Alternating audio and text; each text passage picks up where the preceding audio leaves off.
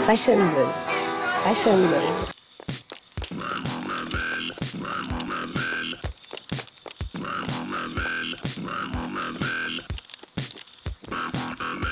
Je n'ai besoin de personne en Harley Davidson. Si vous confondez toujours le trekking et le legging, la parka et le trench, la cape et le poncho, si vous ne savez pas encore que le bleu marine se marie parfaitement avec le noir, et si vous aimez la mode, Fashion Buzz est là pour vous sauver. Sur Fashion Buzz aujourd'hui, on fait notre shopping dans le backstage d'un photoshoot de mode. Coiffeur, styliste et maquilleuse nous livrent la tendance. Wided Anoa, créatrice montante, nous dévoile les premières esquisses de sa nouvelle collection. Et on repère la modeuse qui nous raconte son look.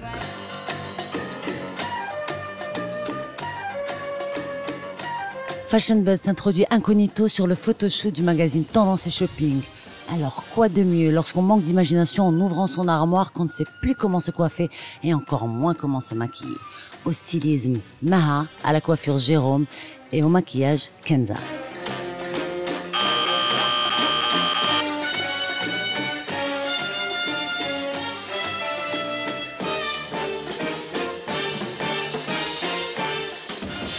Aujourd'hui, nous sommes en shooting euh, pour le magazine Tendance et Shopping dans le studio de Inshawat, photographe.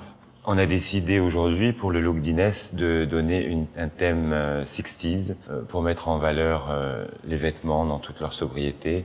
Donc donner du volume, donner de la matière, en respectant un côté strict et classique. Classique ne veut pas dire ennuyeux et strict ne veut pas dire austère. On aime l'effet glam des rouleaux sur la tête.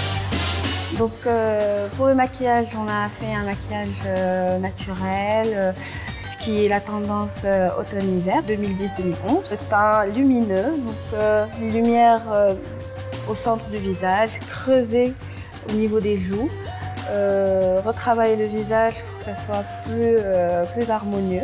Au niveau des yeux, j'ai procédé à mettre des cils, des cils, cils par cils, donc individuels. Les fossiles, c'est le truc que l'on n'arrive jamais à poser soi-même.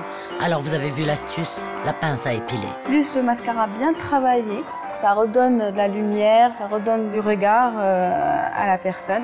Et j'ai remis un petit crayon blanc à l'intérieur. C'est très joli, c'est naturel. Après, j'ai brossé juste les cils, un petit blush, un gloss naturel. Ça donne, euh, ça donne son effet euh, glamour naturel.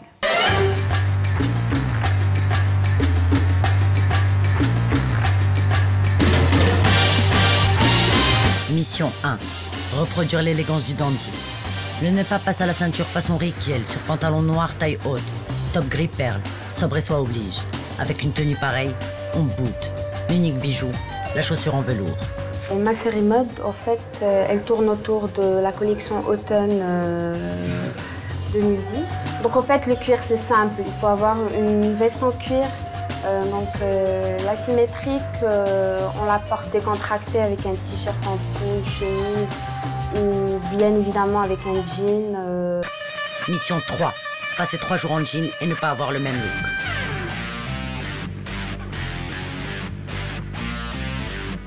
Mission 4. Aller à un casual cocktail entre amis et avoir l'air bébé. Blasé bohème. En oriental touch, gilet brodé, bustier en dentelle et chaussures à lacets. Beaucoup, beaucoup trop hautes.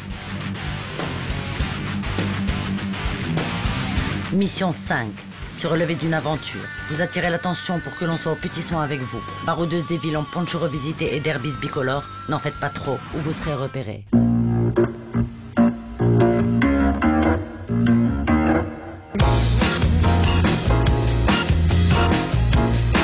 Mission 6. S'envoler en emportant son totem. Après avoir fait croire que vous étiez une fille comme les autres, vous voyagez léger avec cette unique bijou qui pourrait presque se passer du jean. The newspapers shout, a new style is growing. Mission 7. Se faire la maille.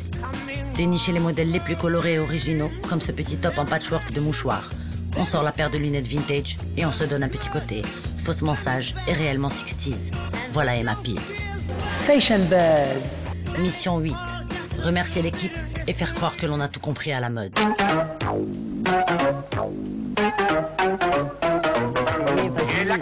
On a entendu dire que Wided et Noix préparait sa nouvelle collection.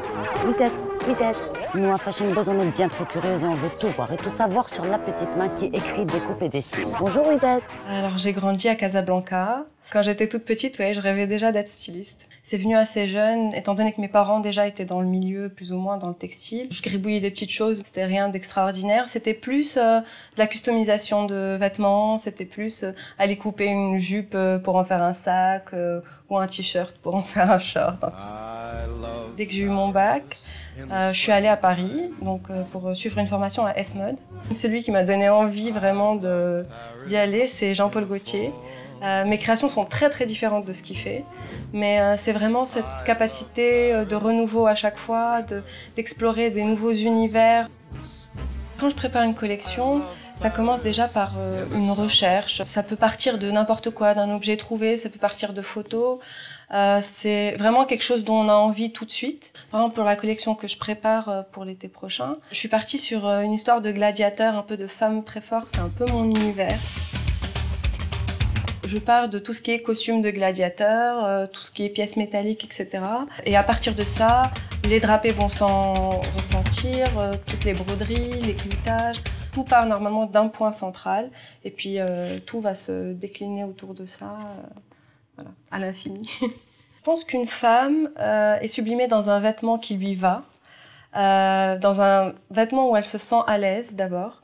Euh, bien sûr qu'une femme en belle robe du soir, c'est beau, mais une femme en- dans un fourreau magnifique euh, qui n'arrive pas à marcher dedans, qui se sent mal, je pense que ça perd tout son charme.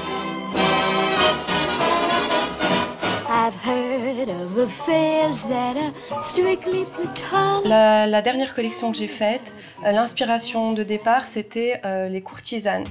C'est toujours dans cet esprit de femme forte, femme homme, parce que les courtisanes dans le XVIe siècle, c'était les seules femmes qui avaient accès à la culture, qui avaient accès au monde euh, masculin. C'est vraiment des femmes qui avaient une importance dans la société, parce que c'était les seules qui pouvaient euh, se mêler aux hommes.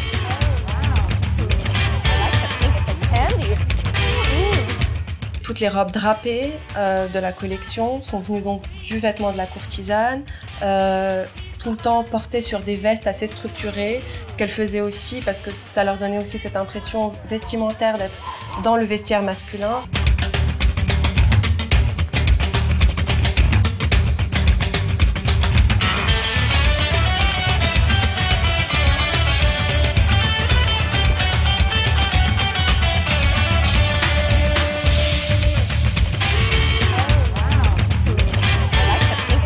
Quand on dit couture, c'est pas forcément importable, c'est juste des choses qui ont été faites main, euh, dans des certaines conditions, euh, qui sont faites sur mesure. Je préfère, surtout pour l'instant, euh, rester dans le prêt-à-porter parce que c'est là où je pense qu'on touche vraiment les gens. Je trouve que c'est un peu bête quand même de faire beaucoup de robes et de les laisser dans un placard mourir. Je pense que quand on crée, on crée pour une femme. Donc on a une image d'une femme modèle, comme la femme Saint-Laurent ou la femme Nina Ricci. Et euh, en fait, c'est un type de femme qu'on a envie d'habiller. Euh, La femme Ouida Danois, elle est très, elle est caméléon, je crois. Elle est justement entre cette féminité euh, exacerbée, cette envie de douceur, de, mousseline, et aussi cette envie de, grandir dans un monde d'hommes, de s'imposer. Mon indispensable dans mon placard serait, euh, c'est très bête à dire, mais le t-shirt blanc. C'est une pièce que tu trouves dans tous les placards, que tu peux porter d'un million de façons différentes et qui est juste indispensable pour tout le monde. Je pense qu'on a vraiment tout le droit de porter, tu vois. Euh, Moi, ça m'est arrivé euh, d'acheter dans des friperies à Paris une combi short, très euh, 70s, violette à pois blanc. Finalement, tout est adaptable, il faut juste savoir porter les choses, je crois.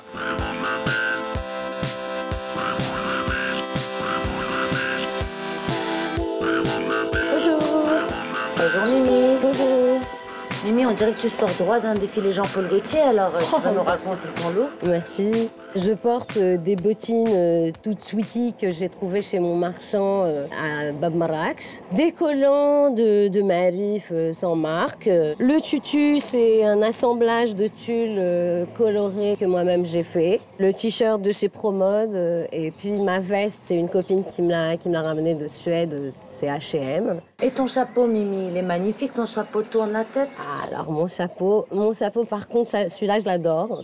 Et celui-là aussi, c'est moi un peu qui l'ai l'ai customisé. Et mon petit sac, celui-là, il a été chiné. euh, bah, dans un souk. Alors Mimi, les rayures reviennent à la mode, alors comment tu nous conseilles de porter la rayure? Tout est permis dans la rayure, que ce soit mélangé avec une couleur euh, euh, dominante. Et puis on peut se permettre éventuellement, moi pour moi, on peut se permettre éventuellement une, une couleur ou deux de plus maximum. Et la veste officier, est-ce qu'elle est encore tendance ou est-ce qu'on la range au placard La veste fanfare, la veste officier, toutes, toutes ces espèces de vestes un peu vintage qu'on a eu, euh, euh, ben, qu'on a, qu'on a mis au placard pendant un petit moment, là elles reviennent vraiment en force. D'ailleurs sur, sur tous les podiums des grands, euh, des grands créateurs, on a vu la veste fanfare de, de Balmain, on a vu la veste officier chez, chez Galliano. Merci Mimi pour tous tes petits conseils et puis à bientôt.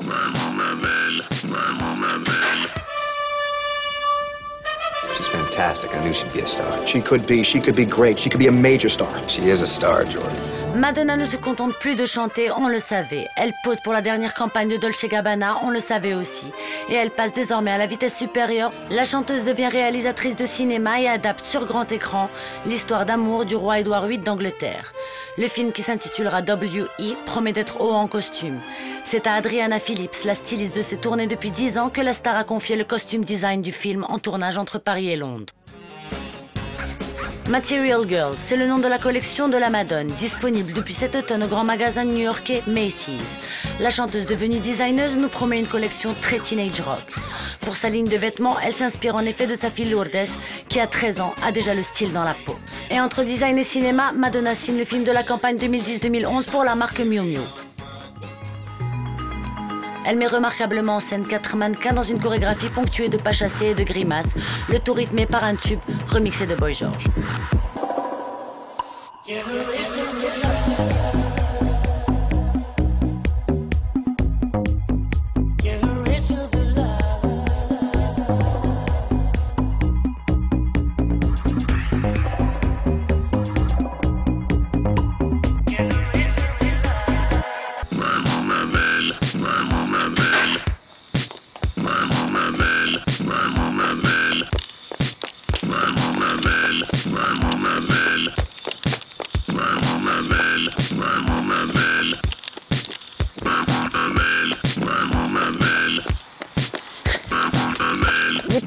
Petites mecs